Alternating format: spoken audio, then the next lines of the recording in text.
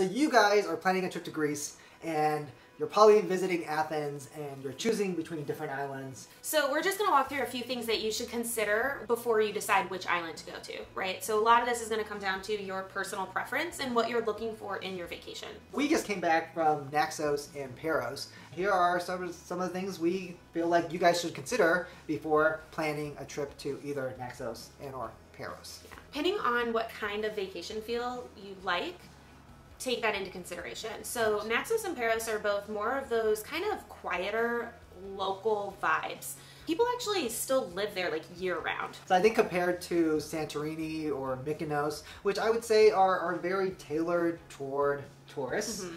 Naxos and Paros, you'll get a, a much more, uh, I guess, local feel. But at the same time, there is a trade off. It is quieter. You probably will have less things to do if you're like a very, you know, late night party animal. the other thing that, that we noticed a lot too with the two islands is um, it was like group trips were there, families, and couples. Right. I do think Paros and Naxos give off more of that family vacation right. vibe as well, just because they're smaller. You're, you're gonna hang out at the beach, you're gonna explore towns, you're gonna eat. I don't think we even saw one club to be honest, when we were there on right. Island. I think there are, you know, definitely a lot of bars mm-hmm. in the main port cities that do kind of open up late. Uh, but I would say, you know, overall, your options are probably a little less uh, a little bit more limited than say Santorini or Mykonos. The next thing I want to talk about is price. I would say that if you're going to compare the, the prices from these islands to say Athens, uh, expect to pay about 10 to 20 percent more. Uh, so things are more expensive on the islands. I suspect that's probably something to do with you know importing them or sending them sort of over. Uh, but I think compared to Santorini or Mykonos, uh, these islands, uh, Paros and Naxos, are going to be cheaper when dealing with price, there's other things that are really cool, right? So Naxos is a self-sustaining island. So they actually don't have to import a ton. Um, so you get a lot of that local food and flavor, which I think is really cool and sets that apart. I think another reason why you may likely spend more on these islands is that a, a lot of the times you're you're paying a little bit more for the the ambience, the mm-hmm. vibe, right? Like you're gonna be you know overlooking the ocean yeah. or like right next to the ocean right when you're eating. So so you know just know that the ambience the vibe the the scenery and all that kind of does uh, play in a little bit more and it should right? Because you're on an island for a reason right? Yeah. you want to feel that, that the island vibes. So you're you know I, I think you're gonna pay a little bit more for that. So i think that's kind of what i would say about expect to pay about 10 to 20 percent uh, more than you would uh, that you know than you would in in Athens for similar meals, I suppose. Mm-hmm. Yeah.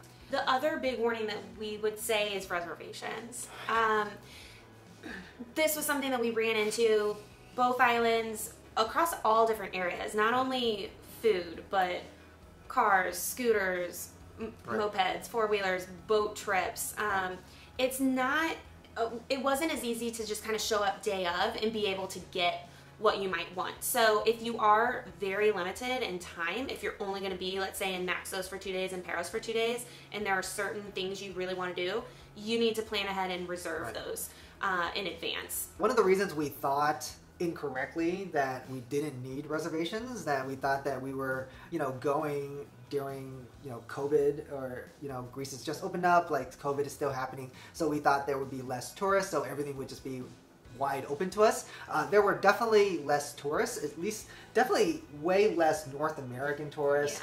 Definitely did not see um, a lot of like Asian tourists, which I, I feel like uh, mm-hmm. I normally see groups of them.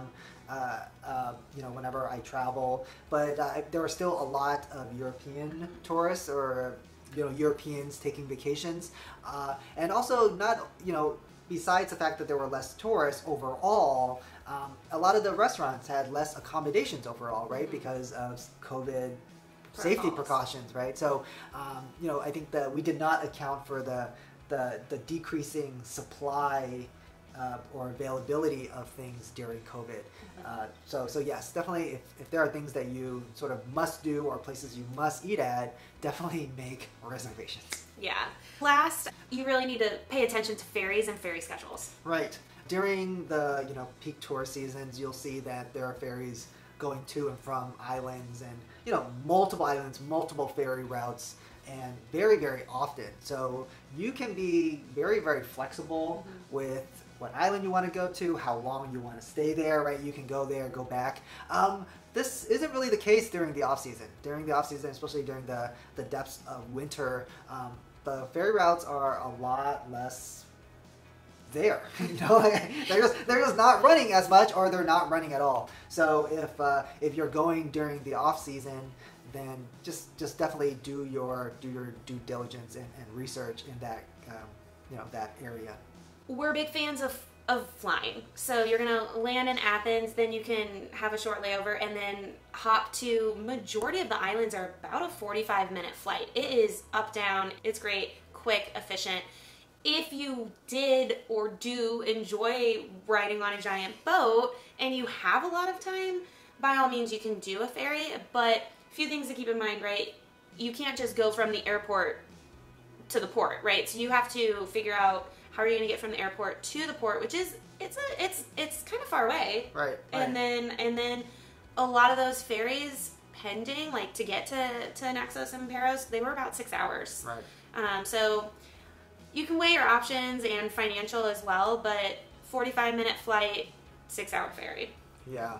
Yeah, I think if you were already on the islands and you wanted to explore other islands, it's probably a good idea for you to uh, ferry if that if the ferries are running. Um, and I think the reason for this is that like you don't have to go to the airport, you don't have to like go through security, right? Like it's just like a smoother process. Like going on the ferry, you just kind of take your stuff yeah, and you can get same day tickets too for for them because they're so large and they they happen so often. So if you just sit and have a coffee near the port, right. they load unload extremely quick. It is just a machine, right. and and I think within an hour you'll see four or five ferries come and go. It's just constant. Yeah. Um, so that part's really great. If if you failed at making reservations for everything else, you will be totally fine with the ferries. Right. Okay, bonus bonus tip for you guys bring a towel. Bring a towel. Bring a, a beach towel. So I think this is really important, especially if you're going on the islands and you want to explore. Um, there are so many beaches, but what we noticed is none of our hotels gave us beach towels. Like, you, like large like beach towels. Yeah. Actual beach towels. And you don't want to take, you know, a hotel bath towel out to the beach. So fortunately, we both packed, um, we both had like lightweight easy towels that are quick dry and um, yeah even if you get if you go to a service beach they don't provide towels they just provide the lounge chairs so it was quite common to see everyone bringing their own towels. Now caveat if you don't have a beach towel in the towns they sell these really lightweight um, kind of like blankets that that double as a towel and i think that when we saw most of them were priced around 8 to 10 euro yeah. so if you did let's say forget a towel you can easily buy right. a really cute kind of beach towel that you could always bring home as a souvenir right.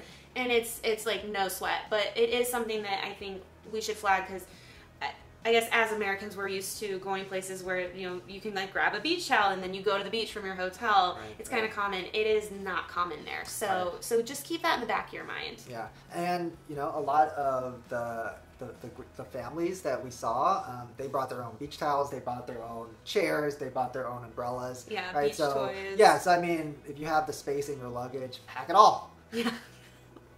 yep. So I think those are the main warnings and highlights that we wanted to share with you all for Naxos and Paros. All right. Uh, yeah, that's it. Yeah. All right. Till next time. Bye.